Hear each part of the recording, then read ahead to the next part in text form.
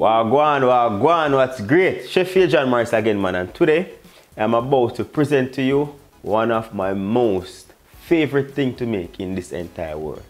You saw the title, so you know exactly what you're about to get. I am going to be showing you how to make Jamaican fried dumplings. So if that's something that sounds interesting to you, stick around. After the intro, we get rolling. We know about sardine, mackerel, chicken neck, chicken back. Nothing nothing dash way. Okay, so now this fried dumpling video is similar to the one that I have out that has been made since 2017. So two years in the making, we have that first video out. The issue that I have with that video is you're not seeing me. Second thing, most important thing apart from not seeing me, a lot of persons were saying it has great content, but internationally, not everyone was able to understand the dialect that I was using. I was just using strictly patois in that one most of the time. So now I said, okay, I'm going to give you a new video with the similar techniques and recipes that I normally use, but I'm going to ensure that I speak standard English so that everybody worldwide can understand. I'm going to give you step-by-step -step process on how foolproof this can be for you to get perfect fried dumplings looking nice and fluffy on the inside crunchy on the outside. And guarantee you you'll love it. To kickstart with the ingredients I have two cups of all-purpose flour. Do not use any other flour all-purpose flour. We have a teaspoon of salt. Over here we have one two tablespoons of baking powder. We have a tablespoon and a half of granulated sugar. Cane sugar is not acceptable. We only use the granulated sugar and we have two tablespoons of butter. And that's it. Five simple ingredients but it's the techniques that gonna guarantee you that beautiful fried dumpling all the time. You want to ensure that you have a dough hook when you're using your mixer right? And we're just gonna set up the dough hook. And in that now we're gonna go directly with our flour. Get our sugar in baking powder salt, and then our butter. So what I like to do is, once I get all those ingredients in, going with your clean hands, I like to just get the, the butter in like breadcrumb consistency before I start the kneading. And also to incorporate all the other ingredients that I have. Another ingredient that was not mentioned is the water. Exactly five ounces of water and we're gonna go all at once, right? I'm to put this on number two there about just so that the dough can take its time to formulate. You don't want to put it on a high speed and then it get floored going all over the place. So start out at number two and slowly mix it in. And you're going to want to get yourself a spatula just so you can help to push that flour into the center to form that dough. So as soon as you see some of that flour incorporated, you're to turn now your speed up to number four or five there about. And we're just gonna push that down.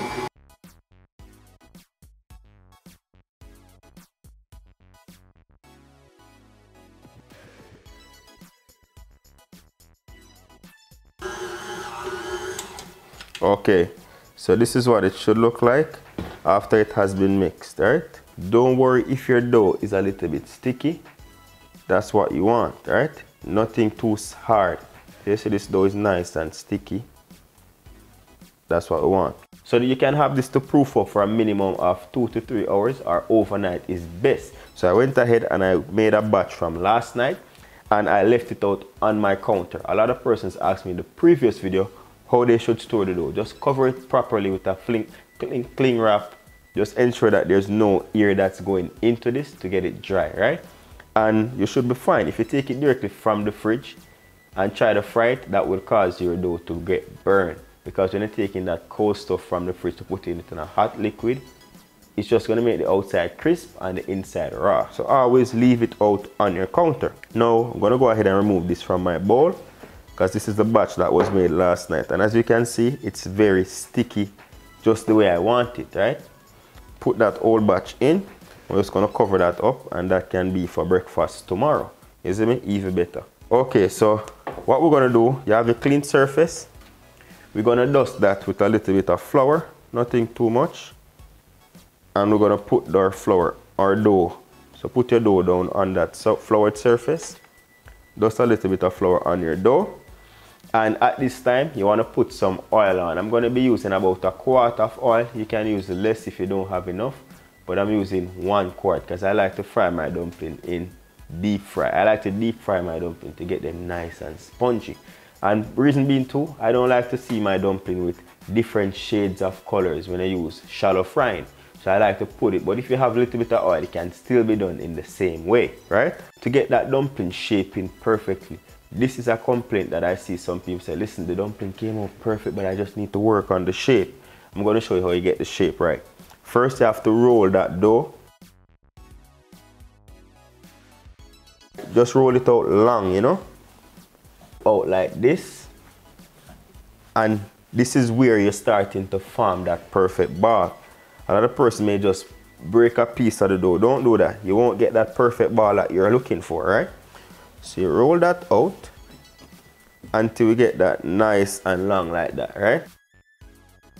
You're just gonna get a knife and we're gonna divide this now into equal portions. So that into half. Can get about 10 dumplings from this depending on the size we're looking for. So one, two, three, all right. So I'm gonna get eight dumpling from this because of the size that I'm gonna go with. So get yourself a tray that you're gonna put the dough on and we're gonna dust that lightly with a little bit of flour. Now, to make the dough nice and round, you can do it one of two ways. On, the, on a surface or in your palm. I'm gonna show you in the palm firstly. So we get the dough, get a little bit of flour in your palm Rub it up like this. Grab your dough. So your fingers are fold. Your thumb in. So you have like a ball. You bring that now. Have the dough in one hand. Flattened like that. Stretch your palm out like that. Bring the dough under to grip it like that. Put that there. But leave enough space at the top. So now when you have the ball in. If you realize. The dough is right there. So it's snuggled up so that way when you roll it now, it's just gonna bounce off the walls of your finger and your palm to create that nice beautiful ball. So go ahead flat, tuck it under, thumbs in, thumb in, sorry, and we're just gonna roll. So while you're rolling, you're gonna press now your weight on there. Just press the weight from this hand on there and keep the fingers in place. So press on there, keep it in place. And that's how, and then you just roll. So that's how you're just to get that ball to formulate. And as soon as I let go of this, you're to realize that perfect ball that we have under here. So you see how perfect that ball looks? That's a result of it bouncing off the fingers. Now it's very important to add the exact amount of water that I told you about in order to get this nice and proper. Because if you make the dough too dry and you're gonna add all this flour you're just gonna have chaos. So the softer the dough the better you add flour and you get that perfect ball. Now just gonna dust that. Dust that with some flour. Just like that and then we bring it onto our tray and there we have one perfect dough ball right now for the method on a flat surface without your palm, right? In fact, I'm going to show you three ways. So this surface that I'm using, it's very smooth. So the dough is going to be all over the place. I'm just going to get a little bit of water onto my fingers. Splash that on there. And that way now, it will kind of let the dough stick and not move around. So we get the dough. Same procedure with the fingers. Fold the fingers, put the, put the thumb in at the pointing finger like that bend the top of your fingers like that to have that ball shape in the middle of your hand, right? Bring it under the dough, press it down and roll. And ensuring that when you're doing this, you're not moving your fingers at any given point. You're keeping them in place, putting pressure on top of the dough while rolling. And that way you're gonna feel that ball becoming nice and round in the center of your palm soon as I let go of this, you're gonna see that perfect ball Ready? Boom. Right? Again, get some flour dust on there. And we put that right here. So that's two ways how you can get it done. Another way, where I see my mom making fried dumpling growing up, flour your hands again, get the dough, so you get the outside in, and you bring everything from the outside in the center to get it nice and smooth on the outside. But this is not my favorite way.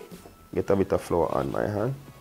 This is not my favorite way of making my dumpling, but it can still work, right? A lot of persons make it like this, and then you can go ahead and just round it up like that, but you won't get no perfect ball that I'm looking for. And that's another way how we can get it done, right? So, show you again, these are the three ways. This is the traditional way. This is, this is my mother's way. Some people get it done on the traditional way, but I go with the non-traditional way to get them nice and perfect, right? So the dough is already rolled out and everything, right? Now it's time for the oil. One of two ways that you can test this oil. You can use a thermometer. We need to bring this up to temp to 280 degrees Fahrenheit, right? Just gonna test that out. Another way how you can test this, get a small piece of that dough drop it in the oil if it floats to the top too quickly when I say too quickly within the first 20 to 30 seconds that means it's too hot we can reduce this heat by adding some fresh oil into this right so I'm at the perfect temperature that I want it and we're just gonna go ahead and add our dough reason why you want to keep that at 280 degrees Fahrenheit because when the oil is too hot the outside of the dough is just going to crisp up causing it to be harder to penetrate that heat in the dough and then you're gonna have a raw inside and a tough outside. So when it's low, when the heat is low, the inside cooks first. You get that oil to seep into the dough, then it cooks from the inside out. Then you gradually increase that heat to crisp up the outside. So watch as I go.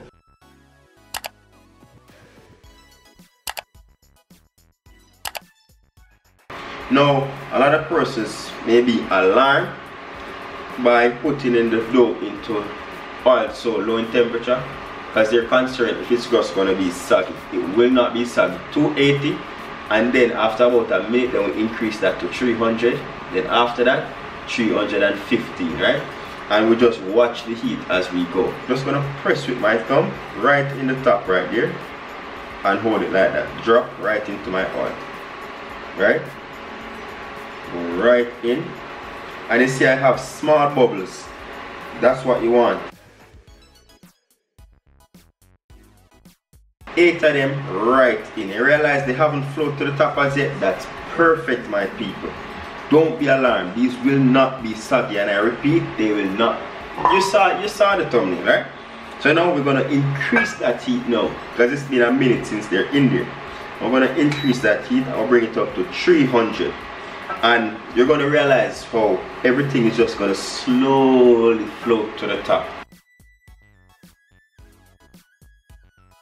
so you see that now look at that you're slowly floating to the top and the dough is still of that white color that's what you want it cannot be a minute in and you have your dough looking brown at 300 degrees right now frying those. right what is happening right now it's all the oil is slowly penetrating the dough from within. Increase that heat now so that we can get the outside to crisp up and to get rid of that um, oil from the center of the dough. Alright, so you see that now they're nice and crisping up. Just slightly roll those over, right? Because you want to get that even color on everything. We cannot fit any more dough balls into this pot. But at the same time, we still have enough room for it to move around, right? So if we had a smaller pot, what that would do would squish the dough and then you wouldn't get that perfect ball and a big pot will make the dough burn because you have too much space for the oil to heat up too rapidly right so those are coming out nicely as I want them to. Perfect balls. You know what I say? We just rotate those every so often. And how, how do you tell when these are ready? As I said if you're frying it in the in deep frying oil like I'm doing right now 7 to 8 minutes and you're golden.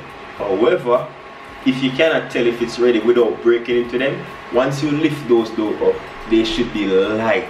So once the dough are a bit light, then you know. If you lift it up and it feels a bit heavy, chances are the center is still raw, right? I hope that I'm not coming at you with too much information here. If so, just rewatch the video. But I have to bring all these pointers to give you the perfect dumpling.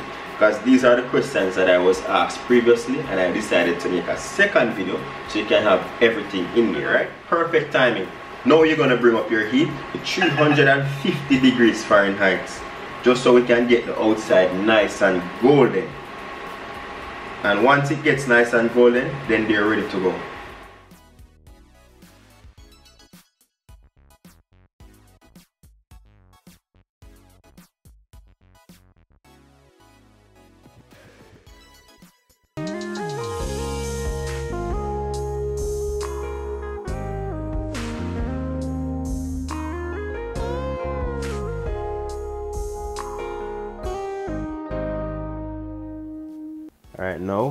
Break into one and show you what it looks like. Perfect as promised. It is not oil inside my people. It is nice, perfectly cooked, nice and hot. See that? Beautiful. So there you have it. How to make your very own fried dumpling at home. Here on Morris Time Cooking It. If you enjoyed this video, Please remember to give it a thumbs up to suggest to others out there who are looking to make their fried dumpling just like this. You know me I say? Once again, you know my people, enough love for the love. You know the thing go, oh, I know a few of you may be over here because you were over on my vlogging channel while I was cutting my hair for this show. Thank you for being there and check out my vlogging channel, Morris Time TV. Subscribe to the channel. Check out the other video and see how big how well we did with this one and the one before. You see me? Thank you very much for watching again.